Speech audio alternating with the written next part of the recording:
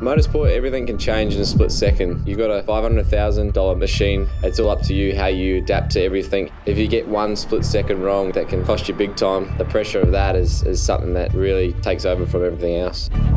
I've done everything I can to get to this point. I've done the right things to adapt to the pressure. I know that I can do it. I feel like I'm the best prepared that I can ever be. Okay, buddy, last car's pulling up now. Once the green flag's called, I pluck first gear Green flags, green flags. and I select 35% throttle, and then I start bringing the clutch up when the red lights come on. As soon as the red lights come on, the car is jerking. It's it's on the handbrake. It's it wants to go, and then as soon as that red light goes out, I just let everything go.